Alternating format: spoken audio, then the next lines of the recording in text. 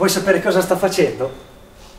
Beh, qualche settimana fa, non so se hai visto il video, sono andato a vedere eh, la pompa di calore con un COP da 5.6. Però io sono un tipo curioso, un po' come te immagino. Non credevo che una pompa di calore potesse avere queste prestazioni. Allora cosa ho fatto? Ho noleggiato un furgone, sono andato a prendere la pompa di calore e l'ho installata nei miei uffici. L'ho messa qui in maniera provvisoria con un puffer che è dall'altra parte della parete da 1000 litri.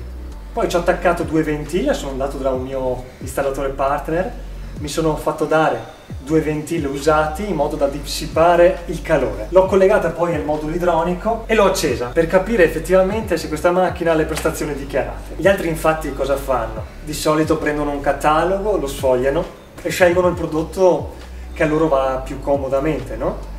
Invece io no, voglio toccare con mano e capire come funzionano le cose e immagino che anche tu vorresti fare la stessa cosa. Allora ti dico, l'ho accesa, l'ho fatta funzionare, l'ho anche parzialmente smontata per capirne un po' i componenti e ti devo dire che questa pompa di calore mi ha sorpreso. È una macchina estremamente silenziosa, molto veloce nel riscaldamento e poi esteticamente lo noti anche tu molto molto importante.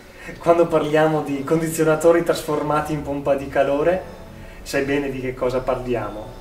Questa è una macchina che arriva a 11 kW e guarda che dimensioni ha. Una batteria di scambio molto molto grande, un ventilatore bionico e tante altre componenti. Componentistica elettrica ridotta al minimo, in modo che in caso di guasto non si debbano ricambiare schede elettroniche su schede elettroniche, che è uno dei componenti più costosi dell'impianto. Quando l'ho vista per la prima volta non vedevo l'ora di poterla installare nei miei uffici. Però non ti posso nascondere una cosa, questo è un prodotto altamente professionale con delle prestazioni esagerate e per questo non è detto che possa essere installata a casa tua, perché potrebbero non esserci i requisiti tecnici e anche la parte economica al suo peso. Ovviamente non è alla portata di tutti. Se vuoi scoprire se hai i requisiti tecnici per questa macchina e valutare se dal 2020 la puoi installare a casa tua, allora vai nella descrizione del video troverai un link per fare la preanalisi di fattibilità e capire se anche tu puoi installare a casa tua questa pompa di calore.